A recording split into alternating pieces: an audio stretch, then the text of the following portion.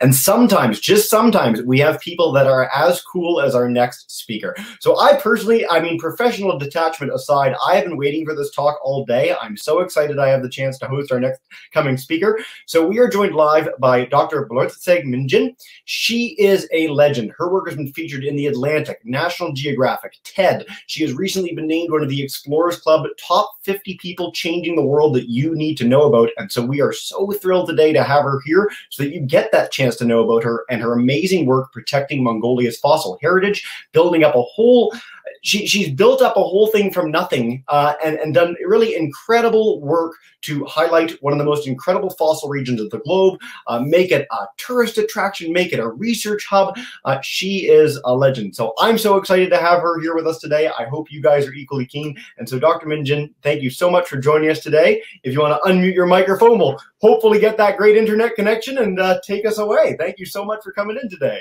Yes, well, thank you, Jesse. That is really nice uh, introduction, and um, I'm really excited to be here. And um, so let me um, start my presentation. Uh, let me share my screen.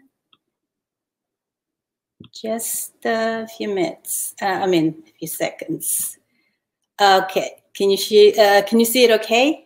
We're getting it up right now. It, it's it's in but it's it's buffering. It's going slowly. There we go. It's up. We're perfect. okay, great. Well, thank you, Jesse. Uh, Jesse. So, uh, so today I'm going to talk about uh, preserving Mongolia's fossil heritage. This is the work I've been working for last 20 years. Um, so I'm Mongolian paleontologist.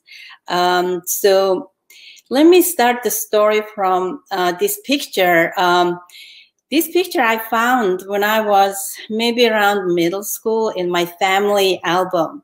So I saw a bunch of these foreign looking people, you know, sitting uh, with some Mongolians and Chinese. Um, so I didn't know what was this picture was about at the time. Uh, I assumed these people were Russian people, European looking people. So back when I, um, growing up in my childhood uh, times, I grew up, uh, Mongolia uh, used to be socialist country.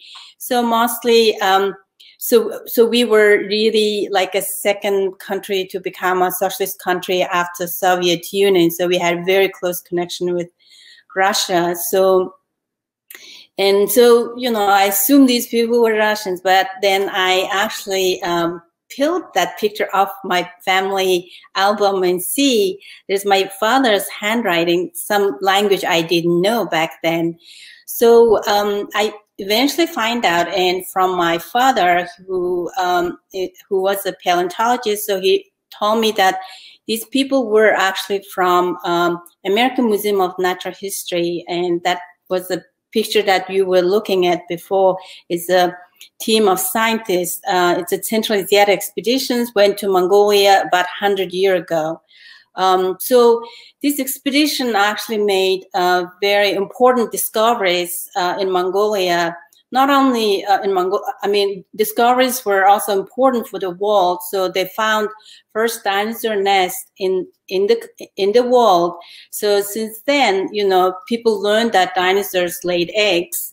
Um, so not only uh, these discoveries, um, uh, the scientists found um, uh, new dinosaur uh, species new to science, including the um, dinosaur skull you see here is a velociraptor, also known as the raptor. Probably most of, you know, children would know from Jurassic Park movie. So, well, and then um, since then, uh, there were a number of expeditions actually worked in Mongolia looking for dinosaur fossils. Uh, they were mostly from uh, Russia and Poland. And so 1960s, our country's first um, paleontologist after trained in Russia. So my father, uh, who's standing in front of University of Moscow, uh, he was one of uh, first generation of Mongolian paleontologists um, trained in Russia.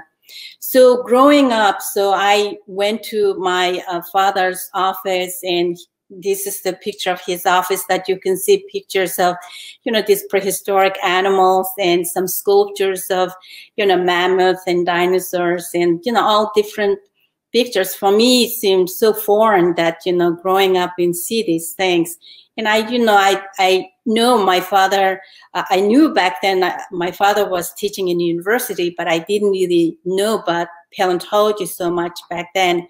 So we had um, natural history museum and there is a you know small hall has this um, uh, meat-eating dinosaur called Tarbosaurus bataar being displayed, and this is the museum in this small hall being visited by uh, children uh, in the city. Um, so I grew up seeing this uh, exhibit, and you can see the dinosaur dragging its tail. It was displayed just like this till uh, 2013. So the museum had a very uh, bad structural problem, and it's been closed since then. Now it's in the process of getting new building in Mongolia for this natural history museum. So um, you can see uh, uh, the capital city is Ulaanbaatar in the north, northern part of Mongolia, and most of uh, Mongolian uh, dinosaur fossils been found in south part of Mongolia. It's Gobi Desert. Flaming Cliffs is the uh, fossil site, which is very um, well known. It's found by uh, scientists from American Museum of Natural History in 1920s. So since then, there were a number of new um, uh, fossil sites been discovered in this region. Um, so if I can show you some pictures, how beautiful is this area? You can see exposures been exposed in whole valley that we, you know, do uh, expeditions to look for dinosaur fossils here. So like my interest in paleontology really didn't come till I really went to college. And so I'm interested in um, you know learning more about paleontology. My father was the only paleontology professor at that university. Um, and for me, it was hard to find advisor to do my master's. I wanted to go more graduate school, so my father ended up being my master's advisor, and so I did my uh, work on uh, fossil corals. Um, so the thing actually changed uh, when I started joining um, this uh, uh, paleontology expedition run by American Museum of Natural History. This expedition started going back to Mongolia in 1990s. Mongolia opened to Western countries that uh, foreign scientists, uh, Western scientists invited to back to Mongolia to work. So I had a fortunate, you know, um, I, I, was able to uh, join this expedition. Actually, initially I joined as a cook. My father joined as a geologist and helping them out to make a, a geology map for the fossil sites. Um, but then, you know, I really didn't want to uh, do it you know, cooks. Instead uh, joined these American scientists. This is like the first Americans I've seen um, back then. Um, you know, since Mongolia opened to uh, you know Western uh, countries. So here we digging uh, some uh, big dinosaur um, fossils out in the Gobi Desert. And um, there's a number of uh, beautiful uh, fossils, uh, dinosaur fossils, and I mean, most, you know, vertebrate fossils been found in Mongolia. Just a few examples to show here is a beautifully complete skeleton of lizard, and you can see baby um, horned dinosaur called uh, Protoceratops. And there's a couple of these two dinosaurs, uh, toothless dinosaurs uh, called Khaan mckennai. it's a uh, oviraptorid, uh, it's kind of like ostrich looking kind of two dinosaurs being found together in one place. Um, so it's a beautifully preserved, um, uh, you know, fossils been found from Mongolia. And upper left side is a, a mammal. Um, it's called uh, multituberculate. It's an extinct group of mammal, and uh, it dated is 80 million years old. So I worked on my uh, research, I mean, uh, PhD on focusing on this mammal, and this superficially looks like um, rodent. It has enlarged incisor, and but the name came from in this back part of the, the smaller, the teeth has multiple cups. So that's the name it came from, you know, multituberculate. So it's a beautifully complete skeleton. You know, for fossils, really hard to find like these well-preserved um, uh, skeletons. Usually you find the teeth and claws. So it's incredibly, you know, beautifully preserved fossils that we find in Mongolia. So right after I finished my PhD, um, I established an organization called Institute for the Study of Mongolian Dinosaurs. Um, so reason I uh, started this organization is um, back in my home. Um, so I actually did my PhD in New York um, at the American Museum of Natural History. So after I finished, uh, we were facing this uh, poaching and looting problem, fossil um, dinosaur fossils being poached and looted, and then uh, were selling in the black market. Eventually went to a public auctioning, like a big major auction houses, and the the uh, the the major breakthroughs came through in like 2012. Um, uh, this dinosaur called Tarbosaurus bataar was going to be auctioned in heritage auctions in New York City.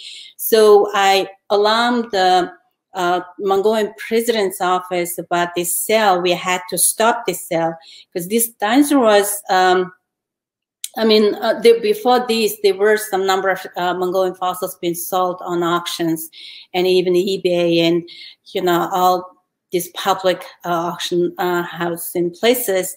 So um, it was like a year battle. We're trying to get this dinosaur, uh, you know, to stop the stop the auction and bring back to bring the fossil back to Mongolia.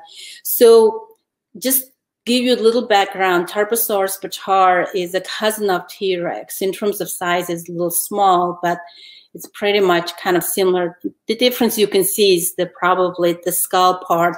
You can see how Bucky's T-Rex would look. And then Tarbosaur skull, just, you know, visually, you can see nice and slender skull it has.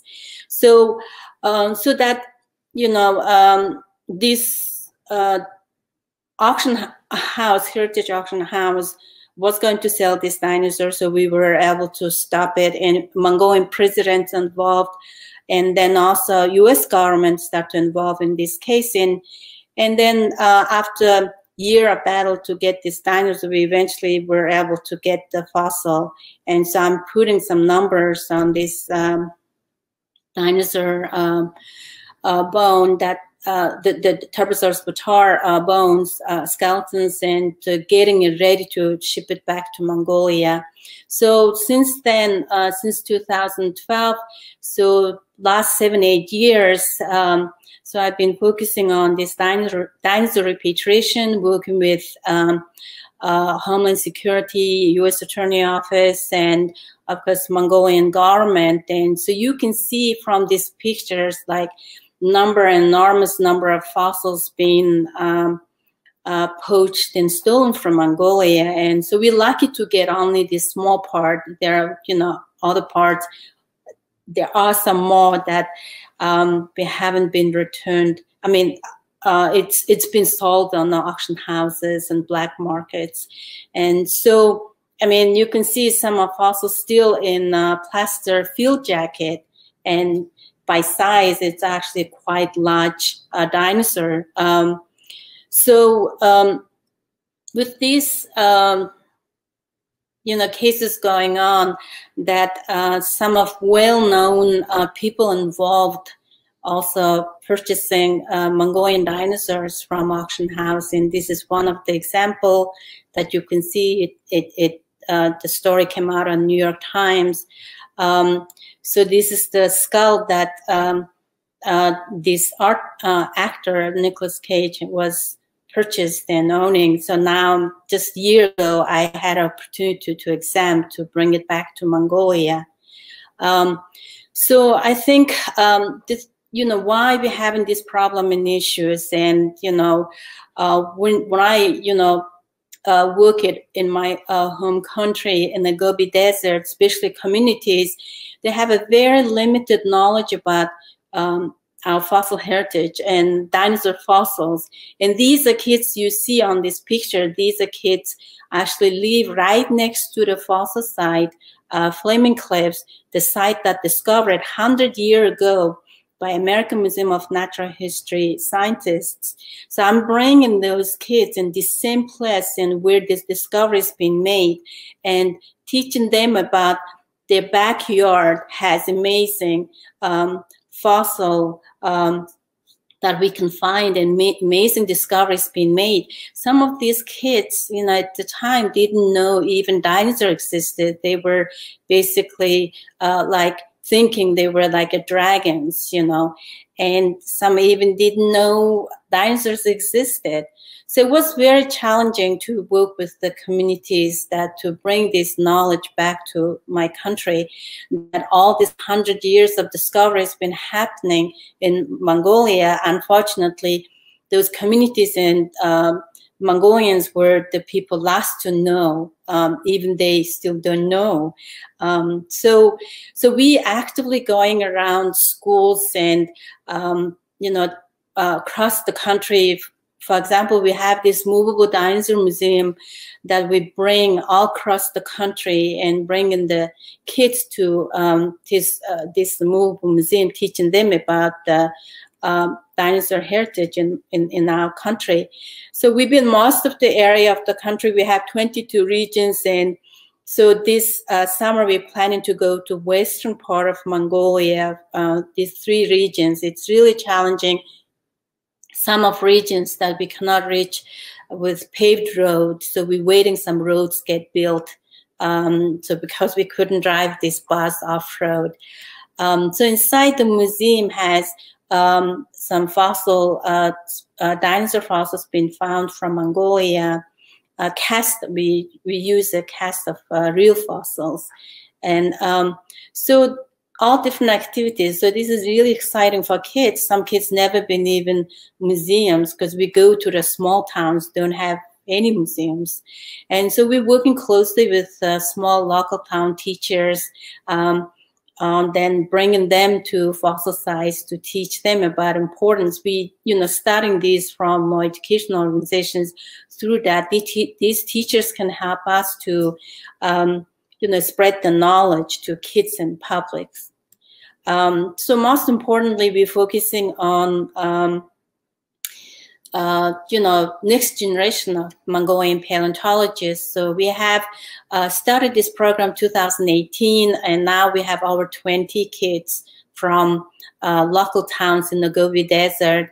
We started with these four uh, children, uh, uh, students from middle and high school. So these students live right next to the fossil site. Uh, they are, you know, uh, their parents are nomads, um, so they never, you know, seen the fo fossils that found from their backyard. So we were, you know, had opportunity to bring them to New York at the American Museum of Natural History, where our first dinosaur fossils being stored um, for 100 year. And so these are kids first to go see um, these fossils discovered 100 years ago in person. So you can see bottom right side is the skull of Velociraptor that's been first found 100 years ago. The first specimen that is named is the Velociraptor. So these kids were really excited to see um, uh, this um, dinosaur. So the so now we're training uh, next generation of paleontologists. So it's really important for them to have place to work. So we're creating, um, working on a Gobi Dinosaur Museum. It's a community-based museum uh, where um, our first dinosaur fossil has been discovered uh, in the Gobi uh, Flaming Cliffs. Uh, this is the view you see.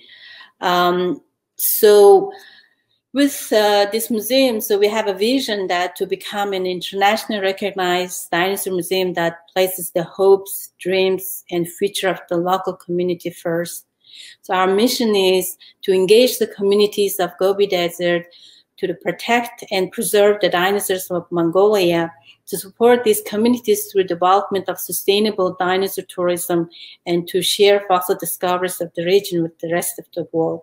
So so we really, you know, want to empower the local communities. They, the people should be, um, you know, be part of this discovery along the side of, you know, scientists. And um, so, so that's why we, you know, think for solution of this poaching and, uh, you know, stealing uh, fossils, um, you know, some education is the solution that we can fight with to reduce and to stop and thank you. Um, for your attention. So, um, so basically, that's what I can share about my work. My jaw has been on the floor this entire presentation. Basically, every time there's a challenge that to most people would seem insurmountable, you just go and do it. You're building a museum, you've got a mobile dinosaur museum, you're bringing fossils back from around the world, you're, you're getting internationally lauded for your work. Uh, Dr. Minjin, that was amazing. Um, oh, what a fun presentation. Oh, so, you. So, what is next for this area? I mean, you you're inspiring this whole new generation of paleontologists that are going to continue on your legacy of work and, and, discover so much more. You showed these fossils that are just incredible. No one finds fossils like that. That idea of a fossil that's fully articulated is so rare in paleontology.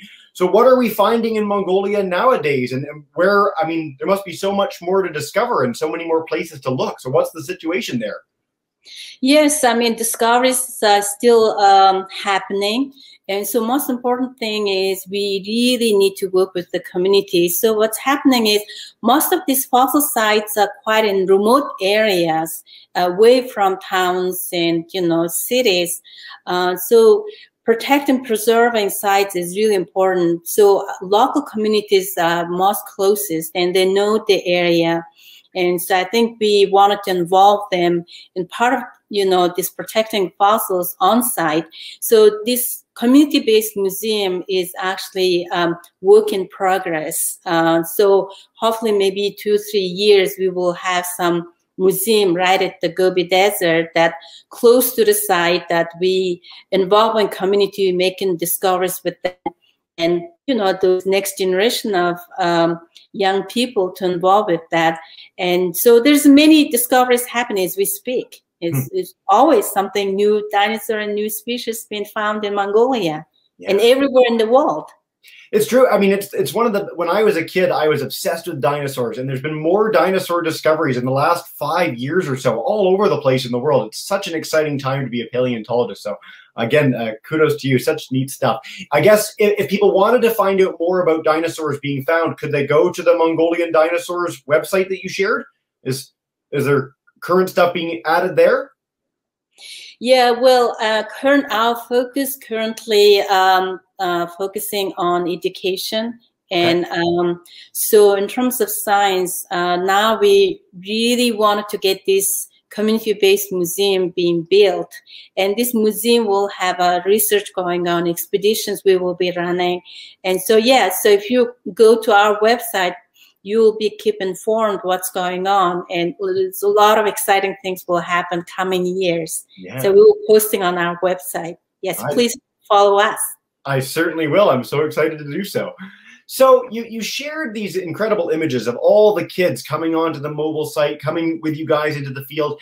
Is there any particular story when you're when you're working with children or or even young adults where someone you know it clicked for them because of your efforts they really now they're inspired by dinosaurs now they're excited to go into the field do you have any story like that to share with us i'd love to hear a personal tale from you yeah, no, I think uh, for kids it's always interesting. They have a very good questions, yeah. and always we have to think, oh right, okay, why we never thought of that kind of thoughts. They their questions come up, right? So, um, so with uh, the kids that we're working in the community, um, they, um, I mean, you know, initially when we meet them, they don't know about dinosaurs at all so we doing all you know lectures and activities with them. Once they really got into it, they really um, interested in you know going more furthermore. So we have some number of kids um, like especially going into I mean in the high school want to be paleontologists.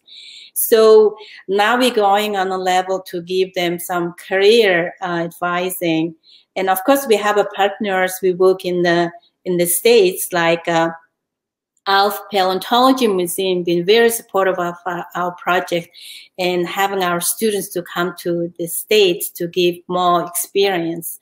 Um, yeah, so I mean, the thing that um, when I first started doing uh, the educational project with the kids, you know, when I ask about dinosaurs, they often would say, "Oh, dragons and all."